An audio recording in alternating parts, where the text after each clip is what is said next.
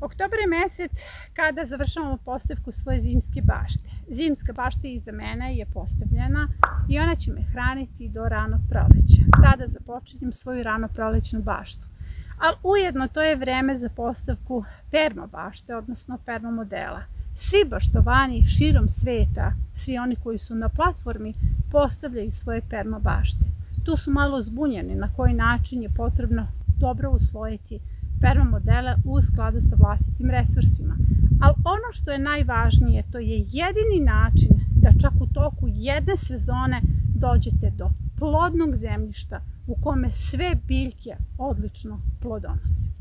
Dobrodošli u još jednu epizodu gde ću vam vrlo efikasno pojasniti kako da usvojite nadzemne permamodele kako biste došli do plodnog zemljišta u kome će vaše biljke obilno da rađaju u narednoj sezoni. Ja sam Biljka, ovo su naše tragovi. Sve što preduzimamo u toku sezone u našoj permabašti treba da nas dovede do plodnog zemljišta u kome sve biljke odlično plodonose. Pogledajte proces koji se dešava u mojim nadzemnim permamodelima. To je proces direktnog kompostiranja. Ja sam došla do vrlo kvalitetnog komposta na svakoj od ovih gredica. Tu sam unela čitavu jednu sezonu uporne primjene bioloških metoda, pre svega kompostiranje i malčiranje na samoj gredici.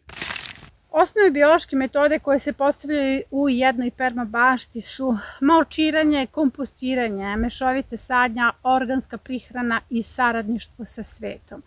Ono što je vama bitno u samoj postavci jesu malčiranje i kompostiranje. Ako znate kako se radi kompostiranje, onda ćete znati kako da uslovite svoj nadzemni permamodel. Zapravo svi ti slojevi postaju potpuno jasni, jer mi pravimo kompostere na samim gredicama. Nadzemni permamodeli imaju svoju školsku recepturu, ona je već postavljena u jednoj od epizoda. Ali onda kada dođete na platformu, u učionicu ili na čitavu platformu putem projekata, mi radimo na konsultacijama vaše vlastite recepture. Jer najvažnija stvar jeste da iskoristite svoje resurse. Sada ćemo krenuti od koraka 1. Prvi korak jeste da pronađete livadu ili ledinu gde ćete da postavite svoje permamodele. Drugi korak jeste da to pokosite, sklonite sa strane Treći korak da odredite orijentaciju i nagib, četvrti parcelizacija. Zbog mešovite sadnje u samom sistemu projektovanja vodite računa da su vam e, sami permomodeli okrenuti u pravcu istog-zapad, e, zbog toga što se tim dužinskim delom radi setva i sadnja i mešovita sadnja podrazumeva kombinaciju visokih i niskih biljaka. Ne želite da vam neke kulture budu u senci. Dakle, obavezna orijentacija istog-zapad ili ako se nađu na ukrštanju, to nije problem. Kada ste odradili parcelizaciju, prvo stavljate kabasti sloj. Sada ću vam pokazati šta sve ide u kabasti sloj. Suncokret je odličan kabasti sloj. Možete samo da ih oborite bez ikakvog seckanja. Čija odličan kabasti sloj. Kukuruzi obarate ih bez ikakvog seckanja. Čičoka treba da se šiša nakon 10 dana. Ošišate je 20 cm do samog perma modela. Ona je sada već u fazi kada se mora ošišati, odličan kabasti sloj. Grane od orezivanja voća, odličan kabasti sloj, debljina grana do 2 cm.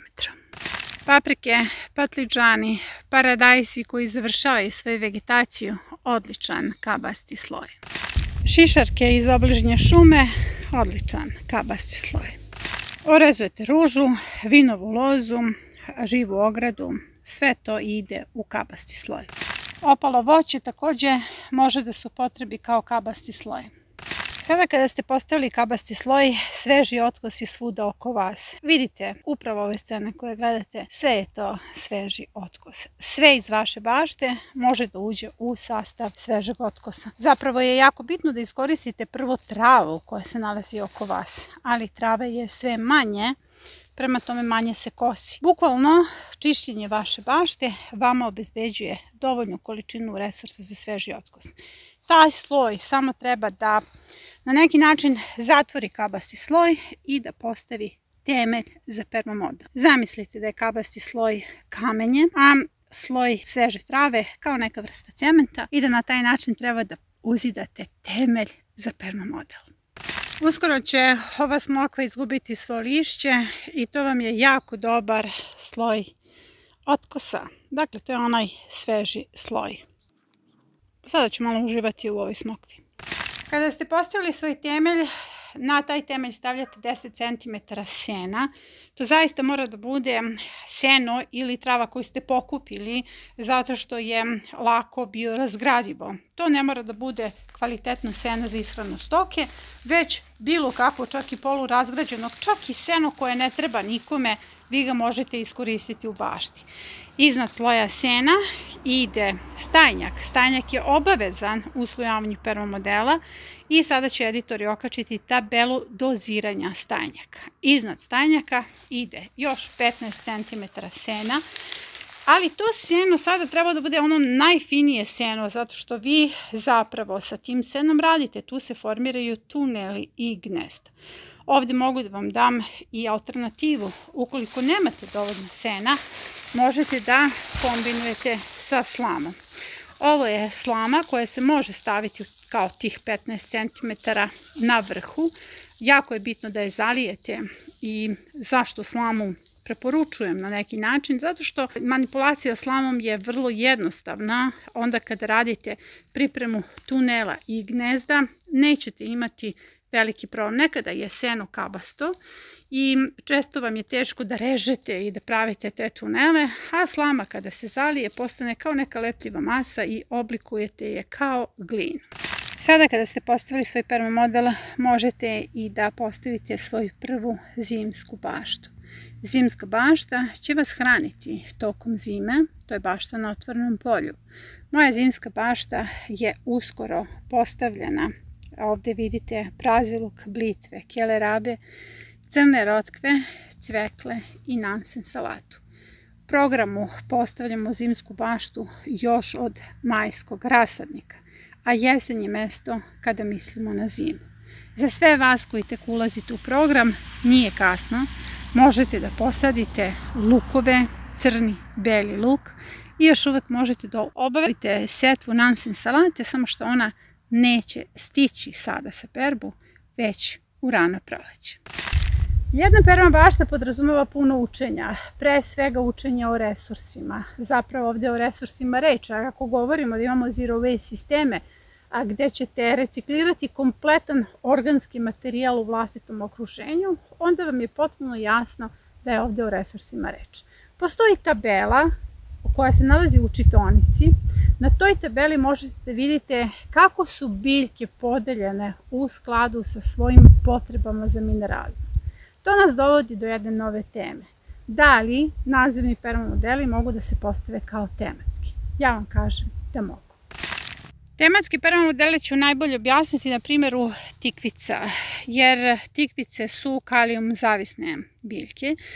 U samoj tabeli vam stoji podela biljaka na osnovu njihove zavisnosti od minerala, ta tabela je u čitonici. Dakle, ovo je kalijum zavisna biljka i možemo da postavimo jedan takav permamodel koji će odgovarati ne samo tigvici, nego svim kalijum zavisnim biljkama. Sada, kada sređujete svoju baštu, imate jako mnogo resursa koji su izvor kalijuma. Onda uđete u tabelu koja se takođe nalazi u čitonici i pogledate šta je to u bašti našoj izvor kalijuma. Tada ćete uslojiti tematski permamodel tako što ćete svoj resurs, dakle izvor kalijuma, staviti u sloj iznad stajnjaka. Danas je 15. oktobar, ja još uvek berem tikvice. Ovo su tikvice iz jesenje zone. U zimsku zonu nam ide i kineski kupus i prednost kineskog kupusa je što za sve vas koji tek sada ulazite u program možete da radite direktnu setvu jer za njega vreme tek počinje. Jedna perma bašta je kreativni deo vaše duše, jer konkretno ako želite da postavite tematske perma modele morate puno da učite o resursima i pre svega da pogledate predavanja o zonskim baštama. Jako važno da znate da sama tikvica pripada kasno prolećnoj zoni. Nju sejemo krajem aprila, prema tome to je kasno prolećna zona, morate da znate tačno koju zonu uslojavate tematski. Ovo je YouTube kanal koji je povezan sa edukativnom platformom. Dakle, mi nismo tek tako neki YouTube kanal u koji ćete upasti kao pa dobranci, jer se onda ne snalazite, onda vam ništa nije jasno. Ovo je edukativna platforma koja se mora pratiti jer svaka epizoda prati program i svaka epizoda se snima zato što baštovani koji se nalaze širom svijeta platforma povezuje 13 zemalja, postavljaju svoje bašte. Pitanja koje postavljaju u učionici su epizode koje nastaju i odlaze na kanal.